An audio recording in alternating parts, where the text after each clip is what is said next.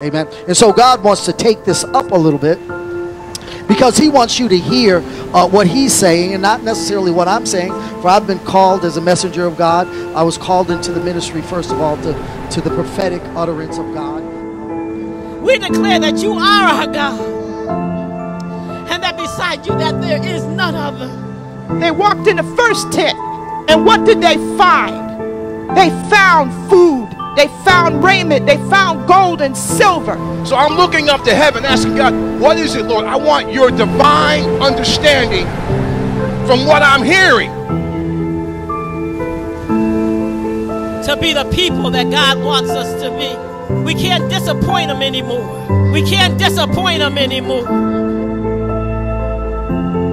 is you're going to begin to find out that the only reason why you're not doing more, the only reason why you're not accomplishing more, the only reason why you don't have more is because of your understanding.